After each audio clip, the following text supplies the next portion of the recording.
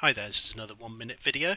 Uh, this time I'm, I'm in uh, MapInfo 17 uh, and I have on the left here raw OpenStreetMap data and on the right the Orbis raster maps that, uh, that we create out of this uh, OSM data. What I'd like to do is sync up the two windows so they show the same area.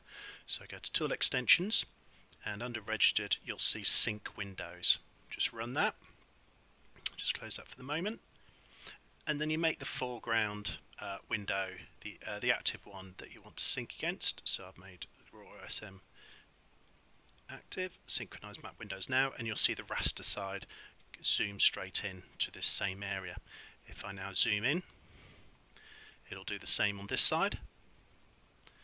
As I pan out towards the sea there on the coast, you'll see the vectors change. And likewise, if I zoom out on the vector side, you'll see the raster side zoom out as well.